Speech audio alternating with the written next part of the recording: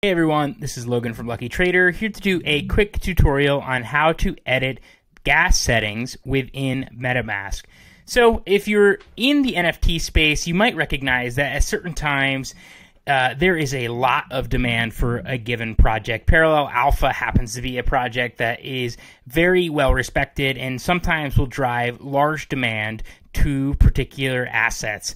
From time to time, it's going to be required that in order for us to beat others to getting a particular asset, whether that be through minting an NFT project or buying something from OpenSea, we're going to need to edit our gas settings to try and push through our transactions with higher fees so that they are verified on the blockchain by miners uh, more quickly than others who may be sending with less of a gas fee. So I'm going to show you really quickly in the process of purchasing an NFT how I might be able to go about editing the gas fee. So first and foremost, I'm going to find what I might need to buy. Again, this may be happening through a direct site uh, where you'd be looking to mint.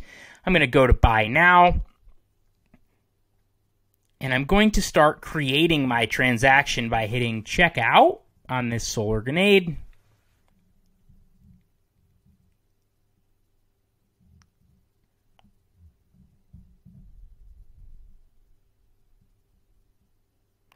And once I've done so, you'll notice that I have a suggested gas fee via MetaMask based on the demand on the Ethereum blockchain. This demand is automatically calculated for you, and it is uh, it is MetaMask's best estimation based on the demand that is currently happening. Sometimes it's going to be higher if the Ethereum network is very congested. Other times it'll be lower, and this variation this will vary based on the type of transaction that you're doing. So sending this um, to sending Ethereum to a different address requires a little bit less gas. It's less intensive of a transaction type than perhaps minting or interacting with a contract like we're going to be doing right now to be able to make an NFT purchase. So first and foremost, you could, if you were in no rush, you could just merely accept not mean that the fee that you see before you will be the actual fee. You notice a max fee option right here. Um, it just means that this is their estimation, but it's very likely that it could be the case that it is actually cheaper than what you see listed on the screen. However, if we want to edit this, because we, we definitely want to be able to make sure that this gets pushed through before someone else does, we'll simply hit edit. And you'll notice you have three default options prioritized by MetaMask. There is a low, a medium, and a high priority. Low priority is best used when you have no uh, immediate need for this transaction to go through and you don't believe that you're competing in any way. So we typically reserve this if you're just trying to send transactions to a different wallet or to a friend and you have no need for it to get there very, very quickly. Medium, in this instance, again, not going to be something that we would look to utilize if we're trying to beat others to purchasing an asset or to minting an NFT. However, it's going to give us about the average gas fee for the present time.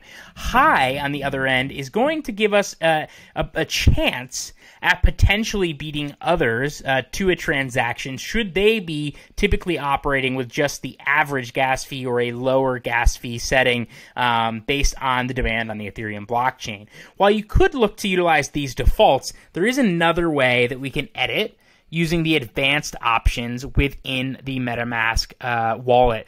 So these three options here, you have little tooltips that are going to give you an uh, idea of exactly what they are. And please refer to our MetaMask guide on luckytrader.com for further explanation.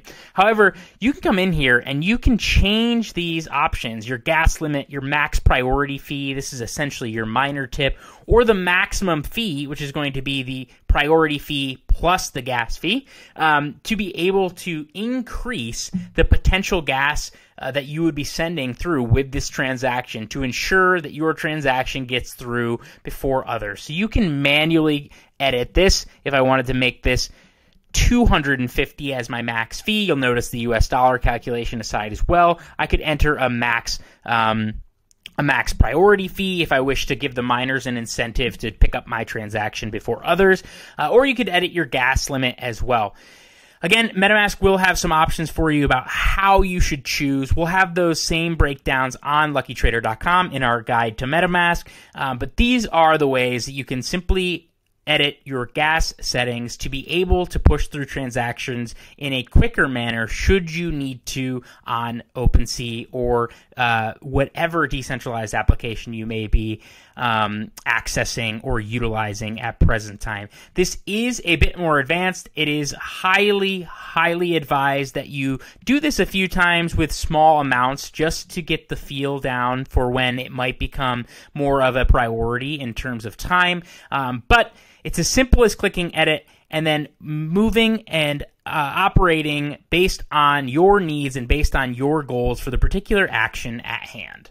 Thanks and have a great day.